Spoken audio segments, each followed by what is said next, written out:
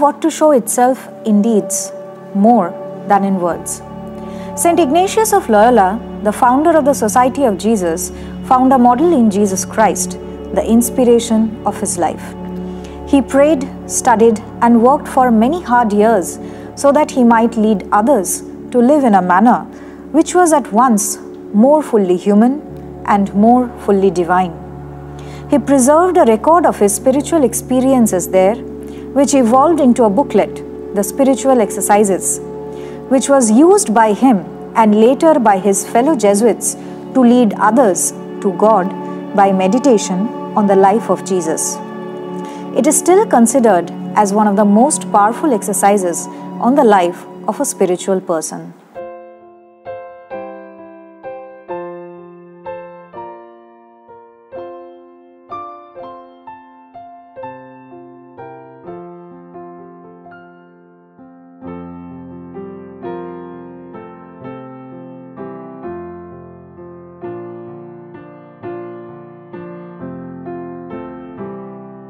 Inigo Lopez de Loyola, who later in life took the name of Ignatius, is the reason for our celebration of today's feast.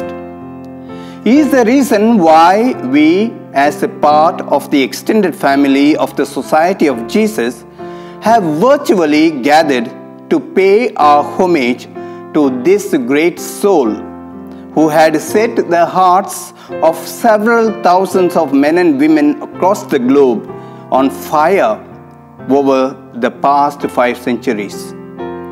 This year is of special significance for us Jesuits, the religious congregation St. Ignatius of Loyola and his first companions founded. We have celebrated the 500th anniversary of the spiritual conversion of St. Ignatius at the Battle of Pamplona on May the 20th, 2021, and combine it with the 400th anniversary of the canonization of St. Ignatius of Loyola and his companion, St. Francis Xavier, on March the 12th, 2022. Thus, Reverend Father Arturo Sosa, the Superior General of the Society of Jesus, has invited us to observe the two significant events starting from May the 20th, 2021 to July the 31st, 2022 as the Ignatian year to have a spiritual renewal like Inigo on the theme to see all things new in Christ. If there was one event in the life of St. Ignatius which had changed the course of his life from a man of the world to a man of God, it was in 1521 at the Battle of Pamplona when a cannonball shattered one of his legs, wounding the other.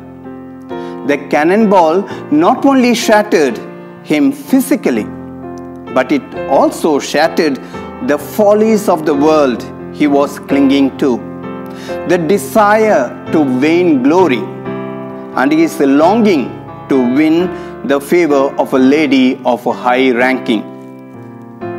As most of our teachers and students have been forced to remain indoors, very much like half of humanity across the globe, I am reminded of Inigo, who spent about six months in bed, convalescing from butcherous operation he went through to set the leg right after the fall. It was these moments of aloneness which brought him face to face with the soul searching questions leading him to leave behind his worldly desires and ambition to seek Christ the poor in the garb of a pilgrim. We too may be going through our own share of pain and suffering indoor due to prolonged lockdown and restrictions to move freely as we used to do.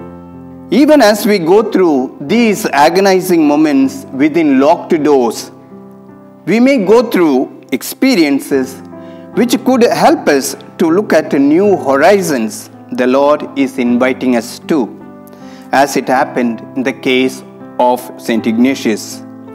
May the feast of St. Ignatius today help us to identify the cannonball moments of our own lives so that imbued with a sense of doing great things for God and His people, we may commit with greater enthusiasm and zeal to the fulfillment of the mission entrusted to our care. May Saint Ignatius of Loyola pray to God for us so that we may follow his footsteps in doing greater things for the glory of God. তেইশে October চোদ্দশো একানব্বই, স্পেনের ইউরোলা নদীর তীরে লয়োলাতে জন্ম হয় সন্ত ইগনাশিয়াসের। Society of Jesus নামক ধর্মীয় ধারার প্রতিষ্ঠাতা এবং প্রথম সুপিরিয়র জেনারেল এই মহান ধর্মতত্ত্ববিদের জীবনের জবনিকা পতন ঘটে একত্রিশে জুলাই পনেরোশো ছাপ্পান্ন রোমে। সেই মহাপুরুষের প্রতি রইল আমাদের অসীম শ্রদ্ধা।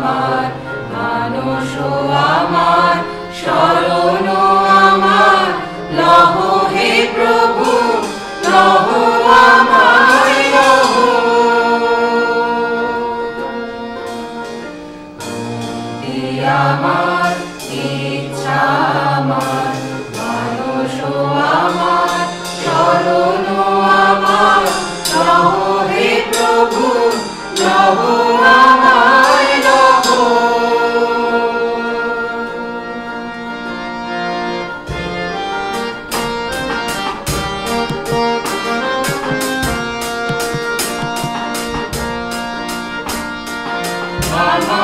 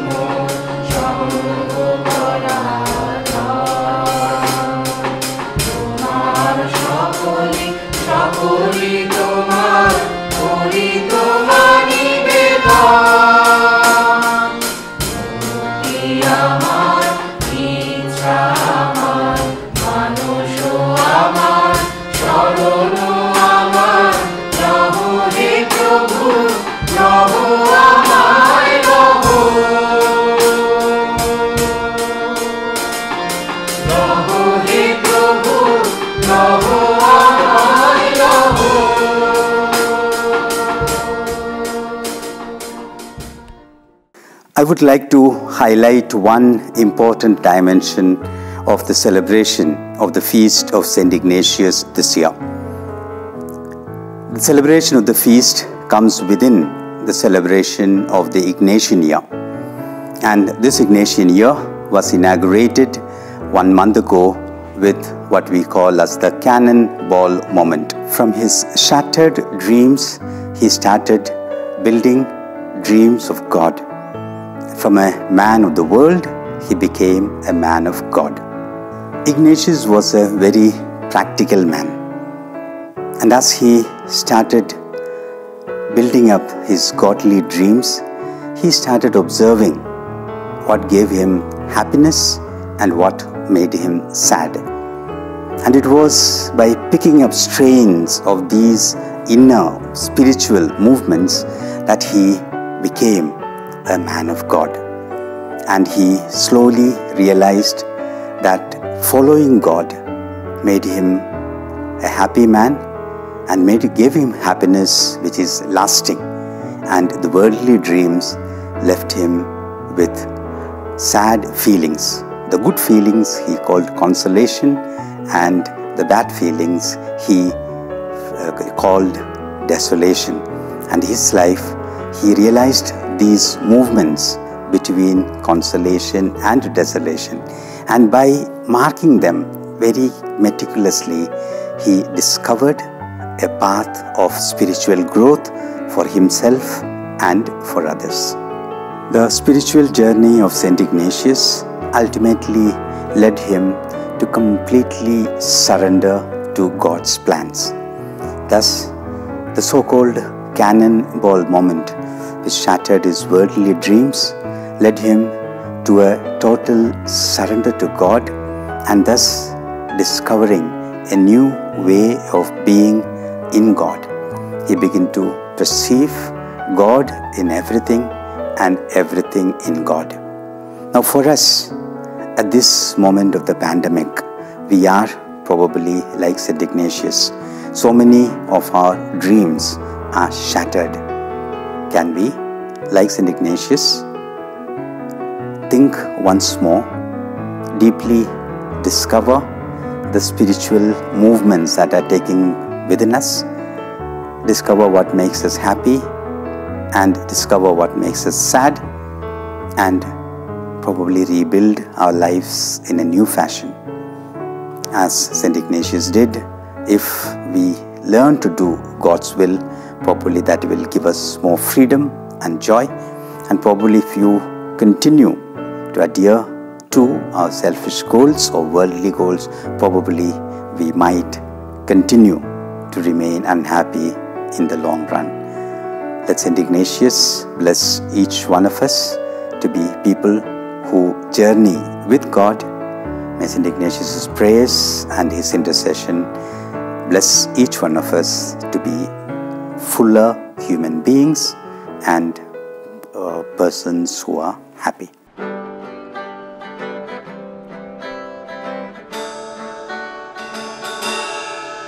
Noble knight, leader of a bravery, need the sun, oh lead the sun, we will fight, need thy sway, need thy sway.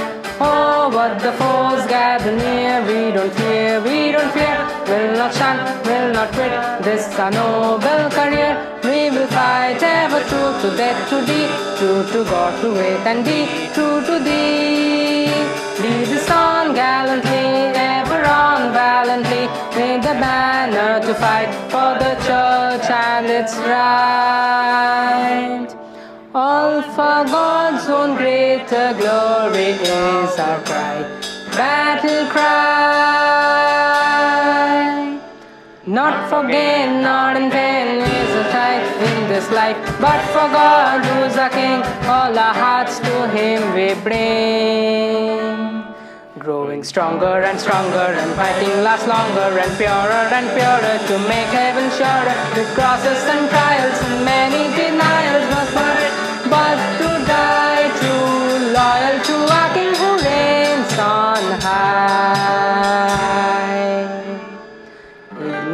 graciously done on till we die. Born in 1491, Ignatius was a different kind of saint. As the noted Jesuit historian Father John O'Malley S.J. observed, Ignatius redefined the traditional basis of saintliness, which usually involves a degree of unworldliness. On the contrary, Father O'Malley refers to Saint Ignatius as a worldly saint. Saint Ignatius made sure that the early Jesuits were spending most of their time in secular places like classroom, teaching less about the Bible and church doctrine and more about literature and early classics. He wrote letters to his missionaries asking them to write back not only about the ministries but about plants, wildlife, and anything that, in his words, seems extraordinary. He wanted the Jesuits to search for God in everything. Saint Ignatius of Loyola was an inspiring person and inspired millions of people even centuries after his death. He started off as a brave and tough soldier, but then turned into the founder of a religious order. Saint Ignatius is an epitome of a good man and has been a very great influence in my life. I myself take him as an inspiration to not lose hope in every downfall I have and to never lose my faith in God. Peace.